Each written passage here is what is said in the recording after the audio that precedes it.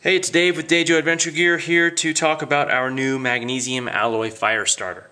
So what you get with this little kit is the striker itself, a stainless steel striker, good and durable with the curved sharpened section for the striking surface, uh, a ball chain, and the actual fire starter itself, magnesium alloy rod. It's a 5 16th inch diameter, which is pretty stout. The whole thing weighs 1.4 ounces, so it's fairly lightweight, but you should get thousands of strikes out of that.